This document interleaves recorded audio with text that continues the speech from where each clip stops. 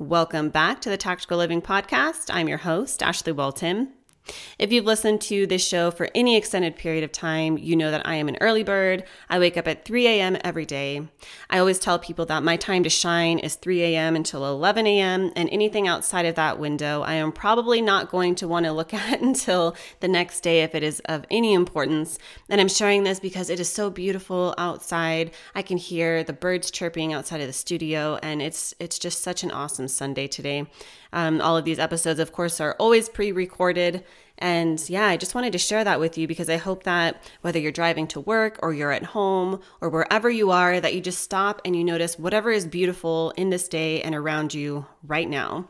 And in today's episode, I wanted to share a little bit about first times and new experiences.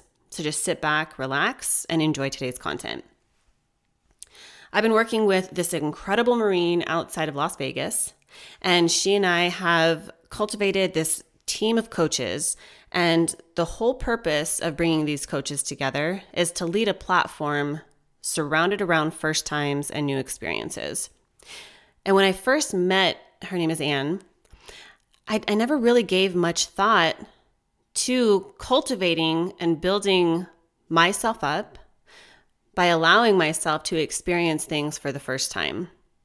And even more so, after I had met with Anne and I discovered this concept, I started to recognize anytime that I did do something for the first time.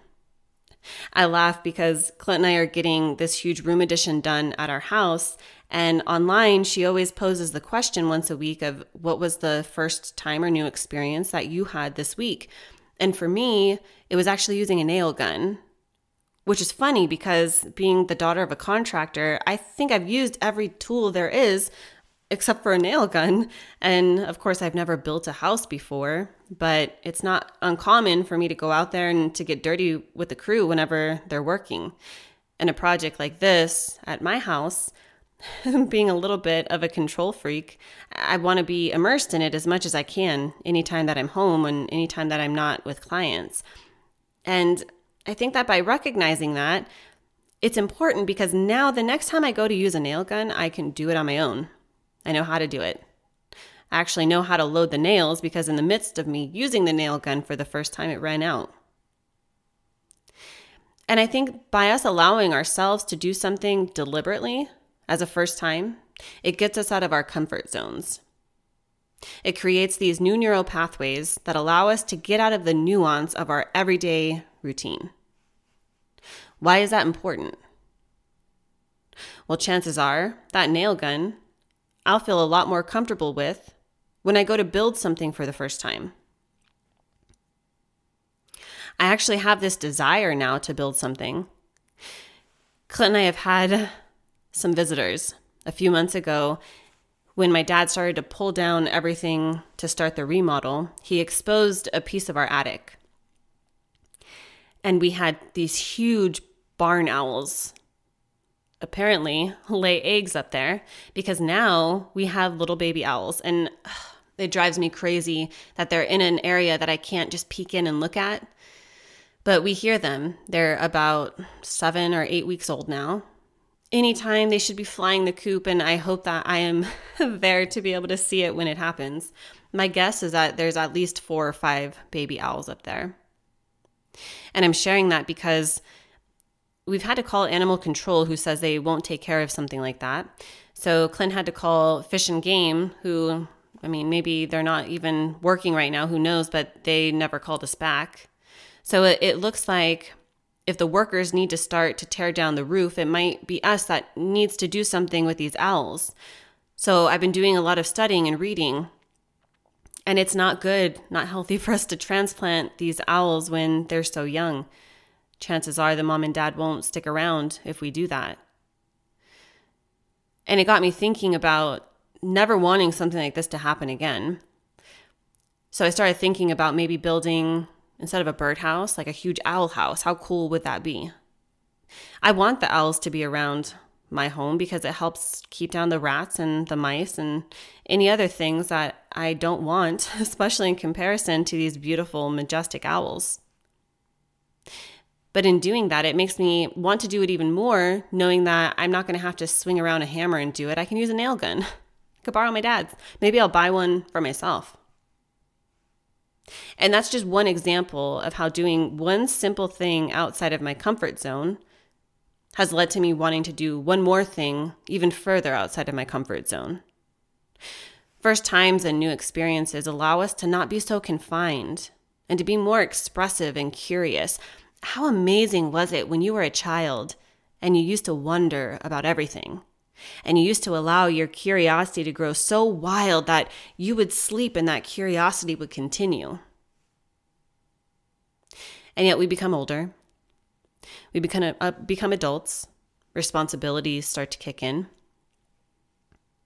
And we get so caught up in all of the things that we have to do that we stop thinking about the things that we get to do or the things that we want to do. What could you do? In saying this, and you listening to this right now, what is something that you can think of that's top of mind for you to be able to do for a first time or a new experience? And many times we think this has to be something costly. I literally went out into my backyard and grabbed a nail gun from a man and said, Hey, let me do that instead. Didn't cost me anything. Well, apart from the remodel, of course. but there are things inside of our own homes that we can use, things that we've never done before. I have a sewing machine inside of a box, admittedly, that I purchased about five years ago that I've never even opened. What about you? What do you have in your kitchen? What do you have in the garage? What do your kids have? What toys do your kids have that you've never played with before? What about outside? What are some of the things that you've always thought, one day I'll do this? Why not do it now? Now, more than any other time, is, is the best time to be able to do it with so many people being home. And I think it's so amazing because not only are there the tangible things in person, but now we have things remotely, even more so than we had over three months ago.